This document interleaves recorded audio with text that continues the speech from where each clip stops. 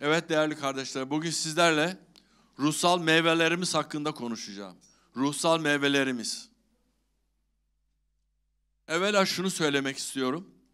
Kutsal kitabı devamlı okuyan ve inceleyenler görür ki İsa Mesih daima bir konuda mesaj verdiği zaman daima doğal olaylardan mesal veriyor. Misal veriyor. Niye? İnsanların, toplumun eğitim seviyesinden anlayabilmeleri için. Değil mi? O devirlerde İsa'nın üç buçuk yıllık yeryüzündeki hizmetinde bizim bildiğimiz iki tane okumuş vardı. Matta diyor ki vergi toplayıcısıyla Luka. Tıp tahsili yapmış kişisi. Diğerlerin hepsi balıkçı, işçi, evde, tarlada çalışan insanlar. Ve onların anlayabilmesi için İsa daima doğal olaylardan ve misal veriyor. Onun için ben de bugün size onun sözüyle başlayacağım ama bunu ruhsal alana çevireceğim. Nedir bir imanın ruhsal meyvesi? Nedir meyve? Doğal olarak elma armuttan bahsetmeyeceğim. Ruhsal meyvelerden bahsedeceğim. Ama bir giriş yapacağım. İsa ne diyor? Nasıl anlatıyor topluma? Halka nasıl anlatıyor? Amin. Artık insanların anlayıp ya benim de meyve vereceğimi Rab söylüyor artık. Ben de hayatıma meyveler vermem lazım demesi lazım. O zaman kutsal kitaplarınızı açın. Luka bölümüne gidiyor. Luka kitabının 6. bölüm. 43. İyi ağaç kötü meyve, kötü ağaç da iyi meyve vermez. Her ağaç meyvesinden tanınır. Dikenli bitkilerden incir toplanmaz, çalılardan üzüm devrişilmez. Şimdi değerli kardeşler, İsa Mesih burada iki türlü ağaçtan bahsediyor, meyve ağacından. Kötü ağaç diyor, meyve vermez. Burada neyi söylemek istiyor? Kötü ağaç nedir? Kötü ağaç kökte problemleri olan bir ağaç. Kökten yeteri kadar topraktan be, beslenemeyen, mineralleri suyu alamayan bir ağaç. Kökünde problem var, çürükler var, hastalık var. Onun için ne yapıyor? Ağaç gelişemiyor. Gelişemediği için de meyve vermiyor. Bunun için de İsa incir ağacını değil mi? Meyvesi olmadığı için değil mi? Onun için İsa burada köklerden bahsediyor, köklerden. Burada yürekten bahsediyor, yürekten. Senin ve benim yüreğimden bahsediyor.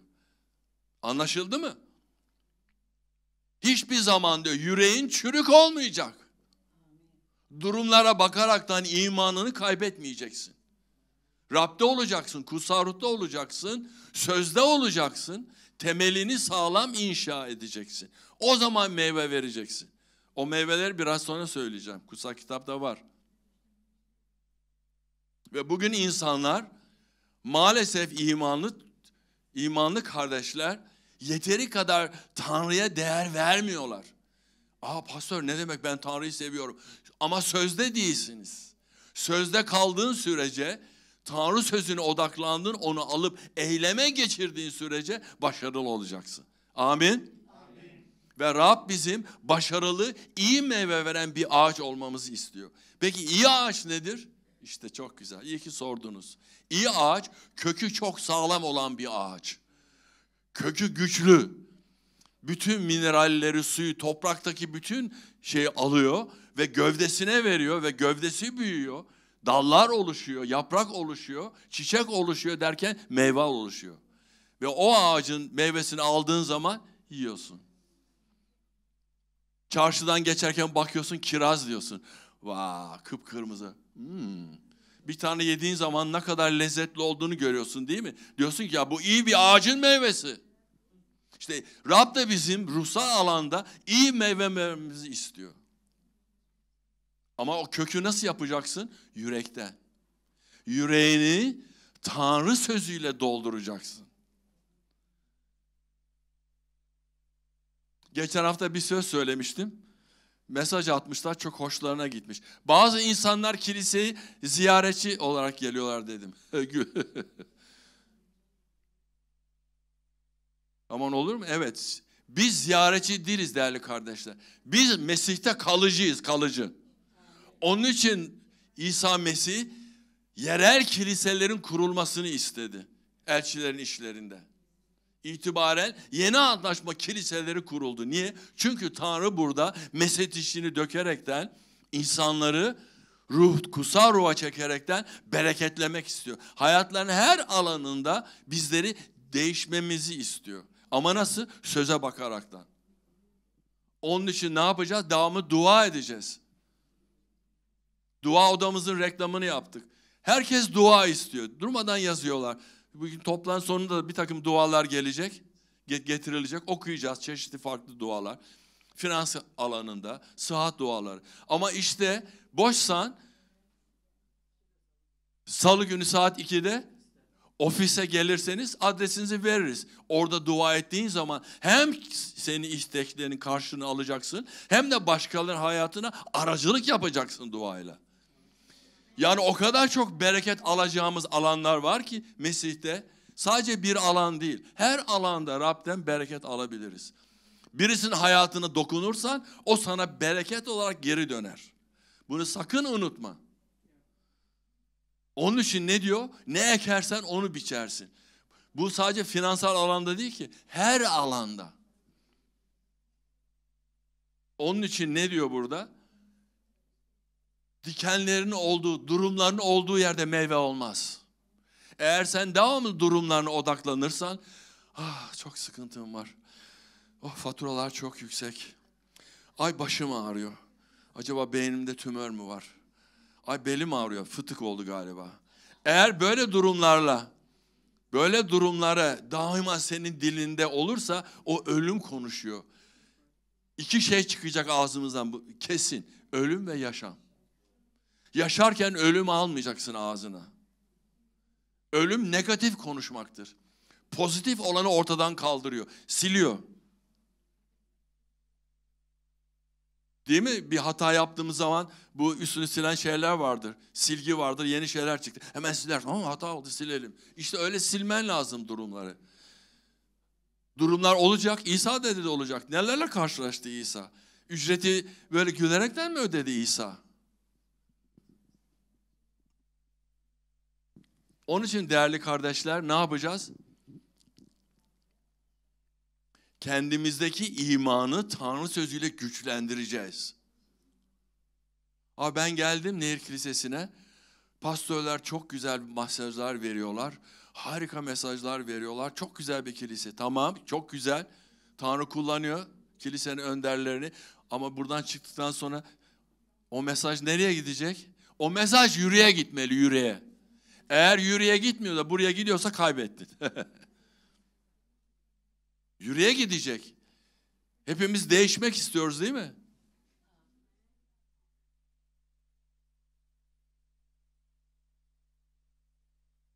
Niçin değişmek istiyor? Çünkü geçmişten kalanlardan hoşnut değiliz.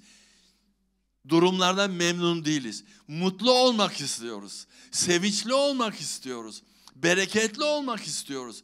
Evimizde, işimizde, çocuklarımızla, torunlarımızla bu hayatı güzel geçirmek istiyoruz. Ben onu istiyorum. Her zaman dua ediyorum. Acaba torunlarından birinin nişanını yaptı, evliliğini görebilir miyim diye. Amin. Duamız var ben ve eşimin. Hiçbir zaman e, kafa kağıdındaki doğum tarihime bakmıyorum ben. Çünkü ondan farklı bir yaşamım var, gençlik var. Onun için her zaman kutsal ruha şükrediyorum. Amin. Durumlara bakmayacağız. Zaferli olmak için ona sahip olman lazım. Nasıl zaferli olur? Mücadele. Geçen gün birisi aradı. Hep şikayet. Şu durumlar var, şu durumlar, şu. Her şey beni buluyor. Ne diyorsun pastör? Ruhsal silahlarını unutmuşsun dedim. Anladınız mı ne demek istediğimi? Ruhsal silahlarını unutmuşsun dedim. ruhsal silahlarını hiçbir zaman üstünden çıkarmayacaksın. Nereye gidersen git, banyoya gittin, duş yapıyorsun, ruhsal silahların olacaksın. Çünkü o senin koruman. Tamam mı? İradeni koruman, düşüncelerini koruman için tamam mı? Kafadaki kusar miğferini kaybetmeyeceksin. Göğsünü koruyacaksın. Amin. Amin. Burada mısınız? Evet. İyi yerdesiniz. 45 ne diyor? Bir de 45'e bakalım. İyi insan yüreğindeki iyilik hazinesinden iyilik, kötü insan içindeki kötülük hazinesinden kötülük çıkarır. İnsanın ağzı yüreğinden taşanı söyler. İşte dediğimiz gibi biraz, biraz önce.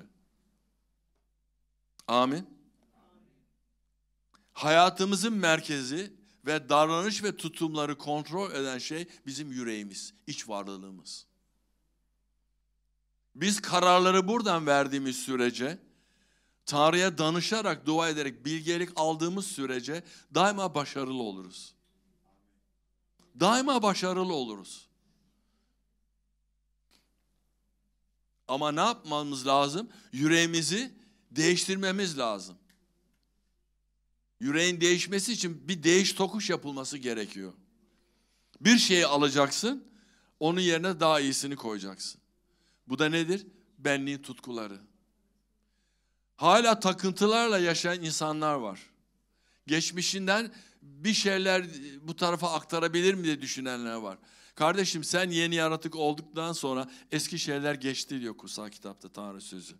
Her şey yeni diyor. Sen yeni bir yaratıksın. Yeni yaratık ne yapar? Her şeyi yenilemesi lazım. Sen yeni bir arabaya eski bir arabanın kaportasını takar mısın? Millet güler sana. Sıfır kilometre bir araba almışsın. Bir arıza olmuş. Eski bilmem kaç yıl arabanın kapısını koyuyorsun. Millet bakar şaşar. Değil mi? Niye? Olmaz. Kıyafet aldın yırtıldı yerine yama yaptırıyorsun. Tutmaz. Onun için bunlar ne demek bu doğal şeyler? Biz artık bir takım tutkulardan, bir takım davranışlarımızdan kendimizi soyutlamamız lazım daima ileriye adım atmamız lazım. Geriye değil. Bazı insanlar bir atıyor bir duruyor. Bir adı geri. Bir ileri bir geri. Bir ileri bir geri. Onun için hayatlarında meyve olmuyor. Ruhsal meyve olmuyor. Amin. Çünkü bir çürüklük olduğu zaman Tanrı'nın isteklerini yerine getiremeyiz. Tanrı bizim bir kere şuna karar vermemiz lazım biz gerçekten benim hayatımda Tanrı'nın istekleri tam yer alıyor mu? Ya da ben plan yapıyorum. Rab'be diyorum ki Rab bu plan hakkında ne düşünüyorsun? Rab diyor ki duymuyor bile seni. Niye?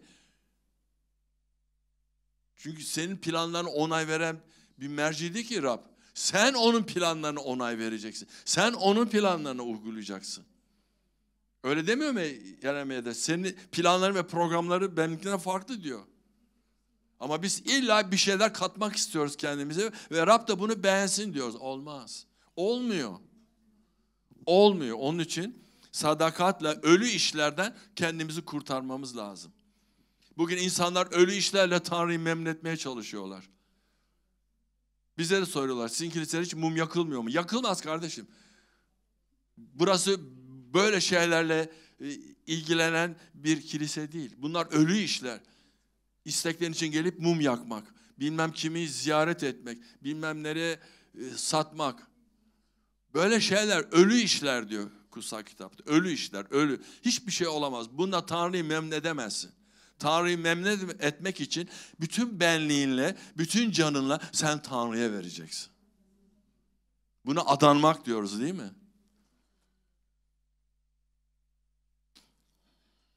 Çünkü bu şeyler, çabalar hiçbir zaman bizi mutluluğa değil, hüsrana götürüyor. Onun için devamı kardeşler şikayet oluyor değil mi? Şikayet ediyoruz. Hemen bir şey olduğu zaman panikleme, kaygılama, şüphe. Hmm, acaba hmm, mi geldi yine? Hep şüphe. Bir şey olduğu zaman kendin alıyorsun. Ya yine Covid-19 çoğalmaya başlamış. Maskeye mi dönsem acaba? Sağlık Bakanı bir beyanatı vardı güldüm ya. Duyan var mı? Diyor ki yeni diyor çıkmaya başladı diyor. Bilmem ne avantaj iğnesi olun diyor. Hiç ben böyle bir şey duymadım. Avantaj iğnesi mi olan var ya? Dört tane iğne olmuş bir insandan. Ha? Ha doğru sen doğrusun. Hatırlatma iğnesi olun diyor. Düşün işte dünya sistemi böyle. Başka dünya başka bir şey bulamaz ki. Ama bizim Mesih'imiz ne diyor? Masa takmasan da diyor Covid-19'un değil benim korumam altındasın.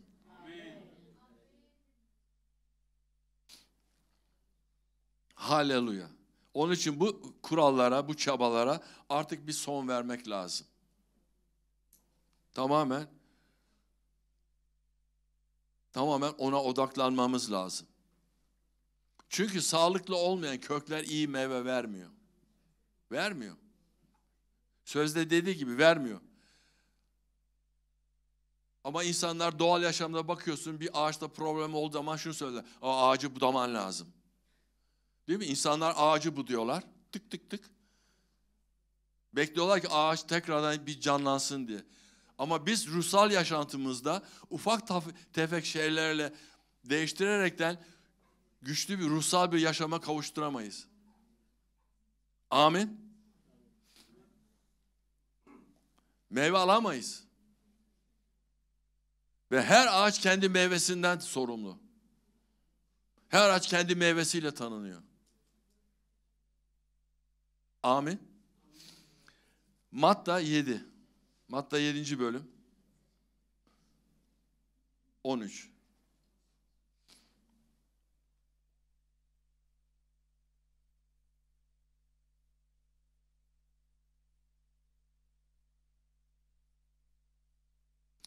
Dar kapıdan girin. Çünkü yıkıma götüren kapı geniş ve yol enlidir.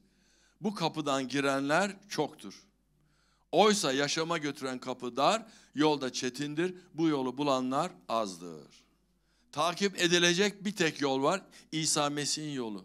İyi bir meyve vermek istiyorsak, ruhsal yaşantımızı güçlendirmek istiyorsak Mesih'i izleyeceğiz. Onu izlemek için de söze döneceğiz. Tanrı insan değil ki yalan söylesin. Tanrı insan değil ki fikrini değiştirsin. Tanrı insan değil ki sözü değiştirsin. Bugün kadar bu sözü takip ettiniz. Ben artık şu anda bunu beğenmiyorum, değiştiriyorum diyen bir Tanrı değil. İnsanlar Tanrı sözünü değiştirerekten, Pastör Güçlü çok güzel söyledi. Sapkınlığa götürüyor insanlar ve bunu insanlar peşinde izleyerek hayatları mahvoluyor. Cennete gidecek insanlar cehenneme gidiyor. Maalesef insanlar imanını kaybediyorlar. İman garanti değil. İman garanti diyen var mı? İmanı insanlar kaybedebilir de. Niye? Yaşantını Tanrı'dan ayırdığın zaman, onun istediklerini yerine getirmediğin sürece adım adım uzaklaşırsın. Uzaklaştıkça soğukluk girer. Soğukluk girdikçe sen o zaman ılık olursun. O da çok tehlikeli. Değil mi? Vahiy bölümünü herhalde herkes biliyor. Ya sıcak olacaksın ya soğuk olacaksın. ılık oldun mu Onun için İsa dün, bugün ve yarın aynı. Sözü değişmedi. Bizim değişmemizi istiyor. Niye? Bizim mutlu olmamızı istiyor. Niye mutsuz olalım ya? Dünyanın sistemi bizi mutlu edemez ki. Biz dünyada yaşıyoruz ama dünyaya ait değiliz. Dünya sistemi bizi kontrol etmiyor ki. Bizi kontrol eden bir Mesih'imiz var. İsa var. Onun için bizdeki katı yüreği beğenmedi, aldı. Beğenmedim dedim. Hmm, kaka. Hmm. Onun için etten bir yürek verdi ki bir esenlik olsun. Yeni bir şeye sahip olalım ki onu onun sözleriyle dolduralım. İşte onun için boşluk bırakmayacaksın. Ne diyor? Kökünü sağlam yapacaksın. Yüreğimiz ve davranışlarımız aynı zamanda bizim karakterimizi simgeliyor. Konuşman, hareketlerin, davranış tarzın Ve Tanrı bizim iyi meyve vermemizi istiyor. Ruhsal meyve vermemizi istiyor. Amin.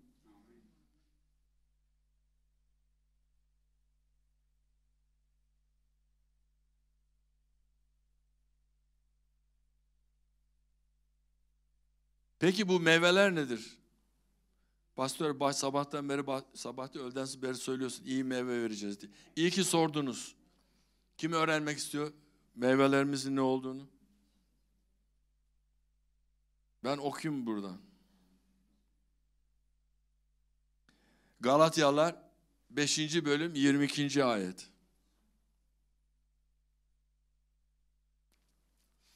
Bakın nasıl meyve vermemizi istiyor Rab.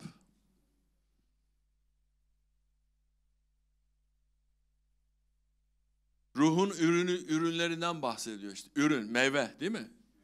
Meyve veriyor ürün. Sevgi, sevinç, esenlik, sabır, şefkat, iyilik, bağlılık, yumuşak huyluluk ve öz yönetim. Amin.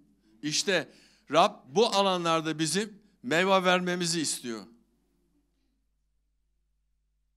Kaydettiniz mi? Galatyalar 5.22. Sevgi diyor. Bu tanrısal sevgi. Biz buna agape sevgisi diyoruz. Değişmeyen bir sevgi. Karşılıksız seven. Sevinç diyor işte mutluluk. Tanrı bizi sevinçli kırmak istiyor. Ve sevinç bizim gücümüzdür diyor değil mi? Sevince sahip olan bir insan hiçbir zaman hüsrana uğramaz. Hep mutludur, güler, güler yüzdür. Esenlik diyor. Esenliği insanlar niye kaçırıyor? Çünkü esenliği kaçırmak için durumlara odaklandığın zaman kaçırıyorsun esenliğini. İş yerine gidiyorsun, bir şey oluyor. Hemen onu tepkiyle karşılıyorsun. Aniden, ani karar, aniden karar vermeyeceksin.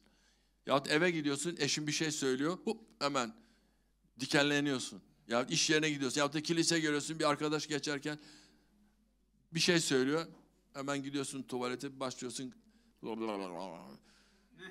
kızgınlık yapma. O zaman ne oluyor? Esenliği kaybediyorsun değil mi? Esen, esenlik gidince onun yerine ne dolduruyor? Kaygı. Hüsran doldurur. Şefkat, sevgidir ya şefkat. İlgidir. Şefkattir. Birisinin bir ihtiyacı olduğu zaman ona yardım etmek. Birisinin ihtiyacı onun için dua etmek. Şefkatli olmak. İyilik, iyilik yapmak. Daima iyi düşünmek. İnsanlar hakkında iyi düşünmek. Daima iyi düşünmek insanlar. Tanrı'nın yarattığı biz çok farklı karakterlerdeniz. Ben 52 yıllık evliyim, eşim de farklı, ben de farklıyım. Ama biz bir araya geldik ve gelmeye de devam ediyoruz. Hepimiz farklıyız. Hepimiz farklı karakterlerde. Rabbe şükrediyorum ki hepimiz aynı değiliz Matrix gibi.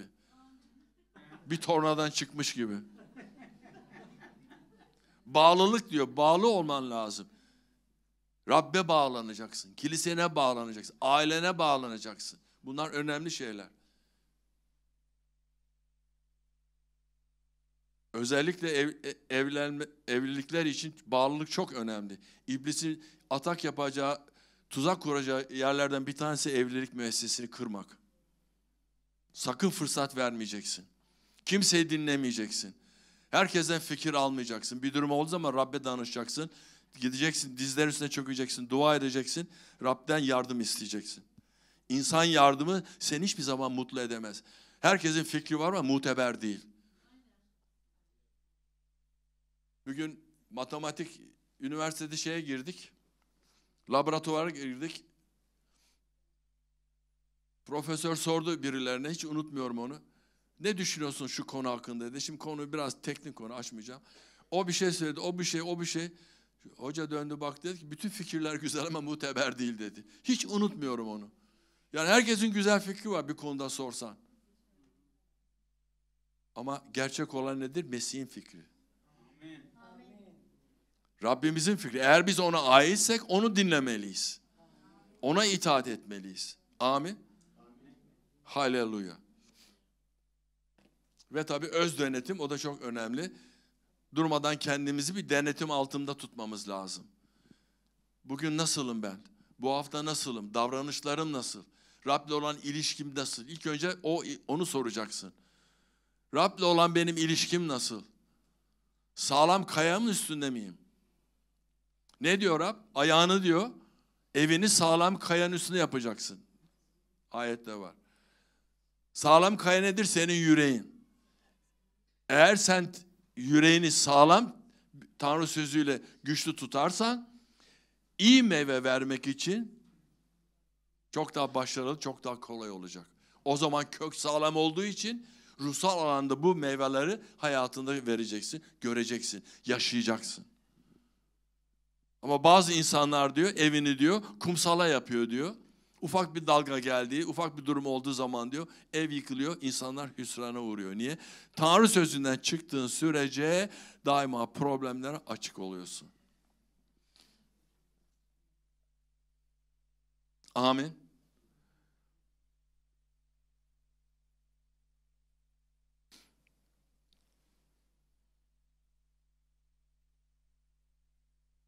Haleluya. İnsanlar çok sıkıştığı zaman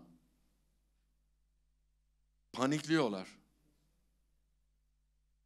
Ama Rab diyor ki panik, kaygı ve korku benim lisanımda yer almıyor. Çünkü ben diyor insanlara bir kere ilk başta korku ruhu vermedim diyor. Değil mi? Esenlik değil mi? Özdenetim ruhu verdim. İşte meyvelerden konuşuyor Rab. Ama sen durmadan horoz gibi kabarırsan, her şeyi bildiğini iddia edersen ama hiçbir hayatına uygulama olmazsa hüsrana uğrayacaksın. Kendi kendini kandırmış olacaksın. Böyle insan çok. Her şeyi biliyorlar. Her konuda konuşuyorlar. Durmadan akıl veriyorlar ama hayatlarına baktığın zaman bir tane meyve yok. Bir tane meyve yok hayatlarında. İlk başta sevgiden kaybediyorlar bir numara. Sevgi dudaklarına söylenen basit bir şey değil. Seni seviyorum. Değil. Sevgi buradan gelir. Karşındaki insan durumlar ne olursa olsun sen onu yürekten seviyorsan bazı şeyleri görmemezlikten gelirsin. Çünkü herkes hata yapabilir. Ben de hata yapabilirim. Hata yapıyorum. Dürüstçe dürüst. Ama özür dilemesini de bilirim. Tanrı'nın bağışlamasını da bilirim. Çünkü evimi kumsalın üstünde yapmamak için yıllar önce karar verdim. Hiçbir şekilde diyor benim yüreğimi kimse kimse benim yüreğimi zedeleyemez. Kimse benim yüreğime kötü tohum atamaz.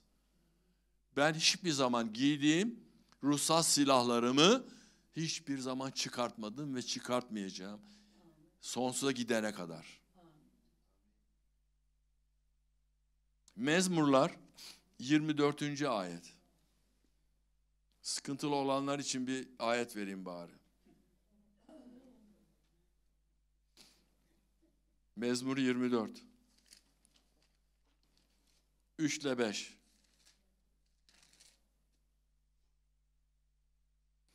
Rabbin dağına kim çıkabilir? Kutsal yerinde kim durabilir? Elleri pak, yüreği temiz olan, gönlünü putlara kaptırmayan, yalan yere ant içmeyen, Rab kutsal böylesini kurtarıcısı Tanrı aklar. Amin. Huzursuz olduğunuz zaman iyi çoban gücüyle ve lütfuyla içimizi yeniler ve canlandırır. Amin. Elin temiz, yüreğin temiz olduğu sürece Rab daima bizi taşıyacaktır. Hiçbir korkumuz, hiçbir şüphemiz yok. Söz söylendi, Tanrı burada sözünü kanıtladı ve bizim yapacağım bir tek şey var, alıyorum. Uzanacaksın, o sözü alacaksın, yüreğine koyacaksın. Durumlarımız olacak ve olmaya da devam edecek. Paniklemeyeceğiz. Kaygılanmayacağız. Şüphe etmeyeceğiz. Vazgeçmeyeceğiz. Rab'den ayrılmayacağız. Daha çok ona yaklaşacağız. Çünkü çözüm, cevap gelecek yer orası, o merci.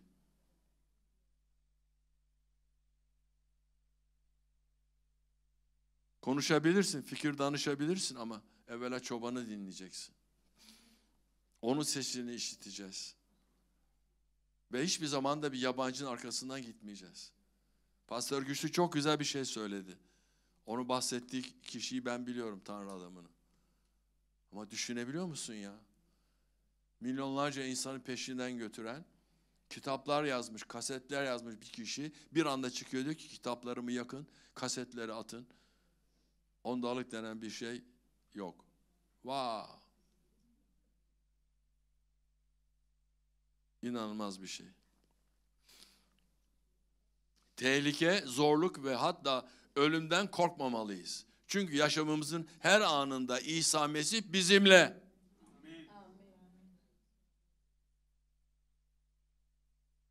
İnsanlar ümitsizliğe düştüğü zaman öldüm bittim diyorlar. O kötü lafları lisanından çıkartacaksın. Amin. Onun için biz Rabbin sofrasında imanla, şükranla ve umutla oturuyoruz. Lütufkar olarak onu kabul ettiğimiz için yerimiz hazır. Bundan büyük bir lütuf var mı? Rabbin sofrasına oturmak. Ama her zaman kendimizi iblisin tuzaklarından korumamız lazım. Alçak gönüllü olacağız. İyi bir öğrenci olacağız. Ev ödememizi iyi yapacağız. Amin. Ve dinleyeceğiz.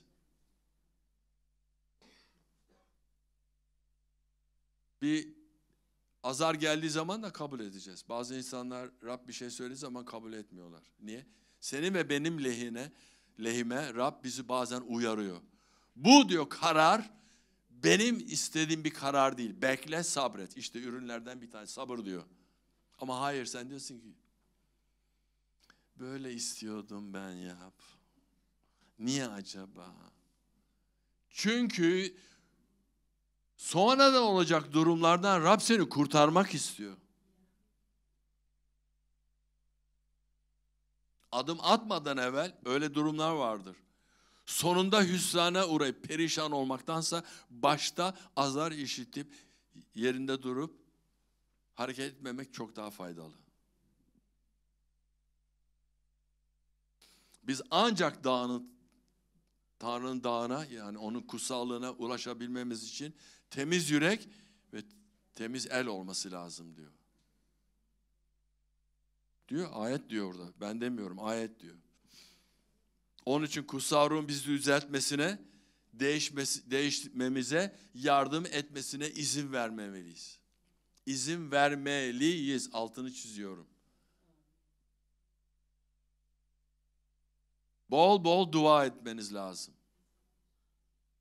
Sadece pazardan pazara kiliseye gelen değil, haftada arada sırada çarşamba günlerine uğrayan değil, hayatınızın her anda Rabbe yer vermen lazım. Çok meşgulüm, herkes meşgul, ben de meşgulüm. Ama Rab için her zaman zaman var. Her zaman yer var. Bazı şeyler durur, Rab ön plana geçer. Geçmesi lazım. İlk önce sen Rabbin doğruluğun ve egemenin arkasından gidersen, Matta 6.33, sana ait olan neler varsa fazlasıyla sana verilecek. Niye? Çünkü baban seni koruyor. Baban seni seviyor. Baban senin mutlu olmanı istiyor. Baban aileni kutsamak istiyor. İşini bereketlemek istiyor. Hizmeti bereketlemek istiyor. Daha ne bekleyebiliriz ki? Rab her yönden bizi kutsamak istiyor, bereketlemek istiyor. Çocuklarımızı, torunlarımızı, iş yerimizi. Her yönden.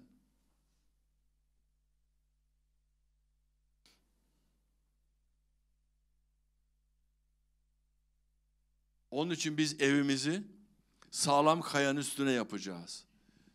Hiçbir zaman bir çürük ağaç gibi davranmayacağız hayatımızda. Belki diyorsun ki bu sözler belki ağır. Ha, şükredin ki İsa daha fazla bir şey söylemedi. İsa kızdığı zaman ne dedi Petrus? Arkamdan çekil şeytan dedi. Bunlar bizi uyarıyor. Bunlar bizi uyarıyor. Bazen bakıyorsun İsa çiftçinin misalini veriyor. Tembel insanları uyarıyor. Ekme biçme de diyor. Beklenti var ama hiçbir şey ekmiyorsun. Uyarıyor. Her yönden bizi uyarıyor. Onun için çok dikkat etmemiz lazım. Neye dikkat edeceğiz? Onun bizimle konuşmasına fırsat vereceğiz. Çok konuşuluyor, az dinleniyor. Ruhsal kulakların açılması lazım. Şu kulakların açılması lazım Tanrı'yı işitmek lazım.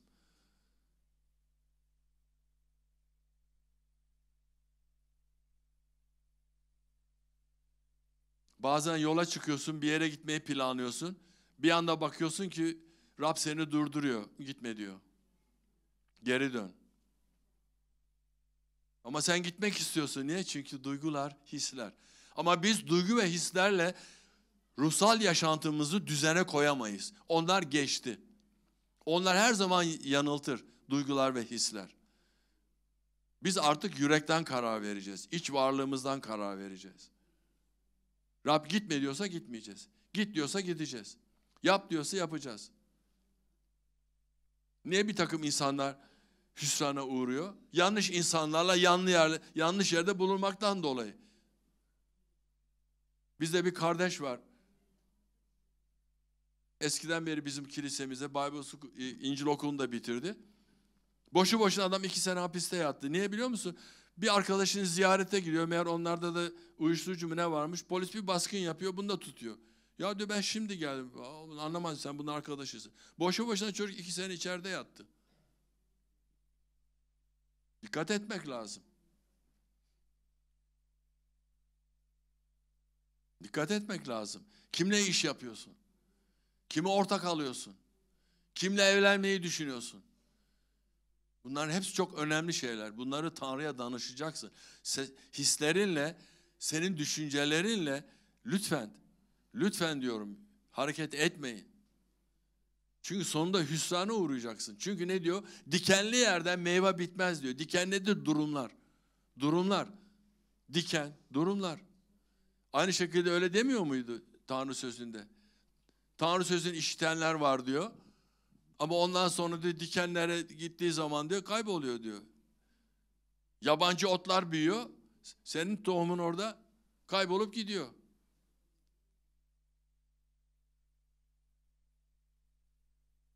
Daima fırsat vermeyeceksin. Çiftçiler niye yabancı otların tarlada bitmesini istemezler? Hemen yabani otları temizlerler değil mi? Ne hasatına şey olmasın diye. Ben de bakıyorum bazen evin orada. Durmadan bir şeyler çıkıyor. Yağmur olduğu zaman fırlıyorlar. Eğer bir gün iki gün böyle sallarsam ya toplarım yani kopartırım dersem bir bakıyorsun ki şu kadarcık oluyor boylar yabancı otlar. Yanındaki çiçeklerden başka yerlerden şey çekiyorlar. Hemen onları kopartman lazım ki değil mi? Bunlar hep Tanrı sözünden geliyor. Hiçbir zaman diyor yabancı şeylere fırsat vermeyeceksin. Koparacaksın ki çiçeklerin de meyvan da neyse meyve versin, sağlam olsun. Neye karar vereceğiz? Yüreğimizi Tanrı sözüne göre güçlendireceğiz.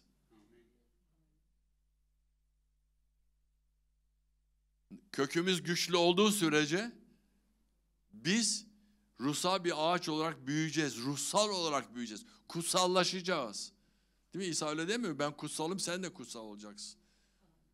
O zaman olduğumuz zaman hayatımızdaki meyveleri göreceğiz. Bizim diğer insanlardan farklı olmamız lazım değerli kardeşler. İnanıyor musunuz? Bizim dışarıdaki insanlardan, henüz Tanrı'ya gelmemiş insanlardan farklı olmamız lazım. Biz farklıyız. Her an bizi kollayan bir Rabbimiz var.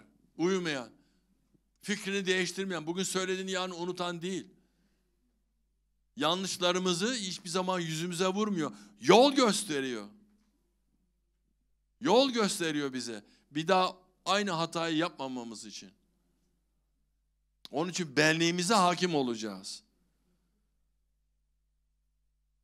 Tanrı için yaşadığımız sürece ona, onun için hayatımızda ona yer vereceğiz. Yaşadığımız sürece Tanrımız İsa Mesih'e hayatımızda yer vereceğiz.